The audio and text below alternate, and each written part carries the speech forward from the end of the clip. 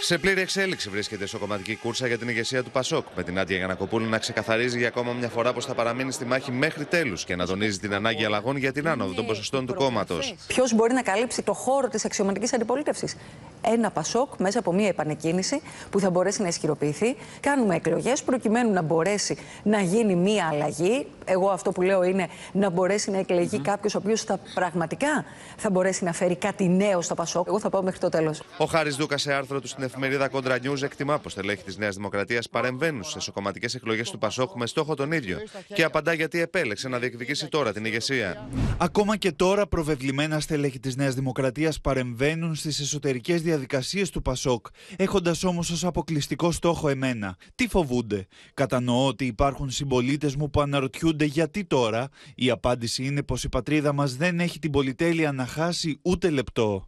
Στην τελική ευθεία μπαίνουν πλέον 7 υποψήφοι μετά την αποχώρηση της Μιλένας Αποστολάκη. Η κυρία Αποστολάκη, η οποία είναι μια εξαιρετική βουλευτής, πήρε μια πρωτοβουλία να μπει μέσα σε αυτή τη μάχη, εκτίμησε κάποια πράγματα εκ των υστέρων, ίσως κάτι από αυτά που συμβαίνουν την κυρία Αποστολάκη δεν την εκφράζουν. Γι' αυτό το λόγο και είπε, εγώ παραμένω στην πρώτη γραμμή, δεν θα είμαι υποψήφια. Στην κούρσα και ο Μιχάλης Κατρίνης, ο οποίος βλέπει σύγκρουση αντιλήψεων. Τονίζοντας το βήμα πως το δικό του στίγμα δεν έχει σχέση με λογικές που βλέπουν το Πασόκο σε ένα μικρομεσαίο κόμμα που θα μπορούσε να αποτελέσει το ρόλο του εταίρου στη σημερινή κυβέρνηση.